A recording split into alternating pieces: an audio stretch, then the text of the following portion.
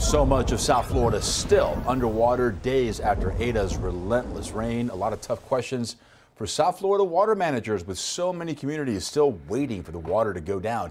Did they make the right choices before and during the storm? Local 10's Hatzel Vela live with more on this. Hatzel.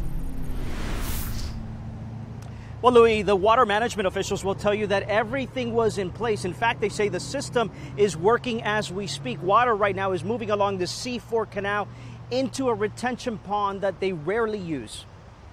Eta is long gone, but water is still pumping throughout South Florida. The rain undoubtedly tested our water management system.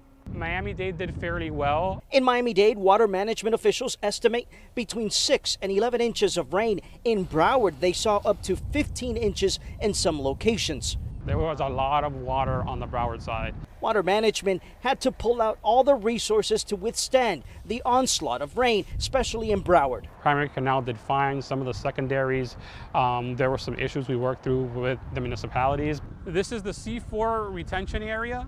We're in western Miami Dade County along Southwest 8th Street, west of the Turnpike.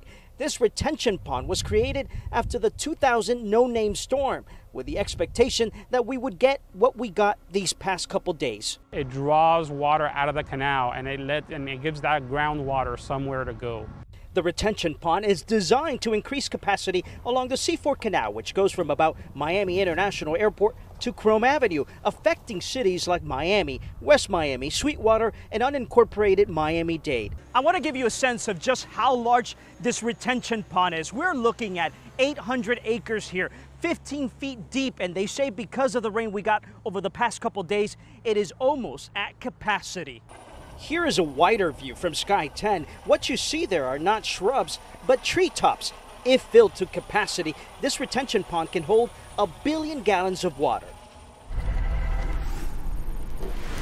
So this retention pond, by the way, is only used when absolutely necessary. That gives you a sense of just how tough these storms were. Now the hard work begins because they start working with municipalities and trying to figure out what they learned from this last storm, specifically when it comes to drainage.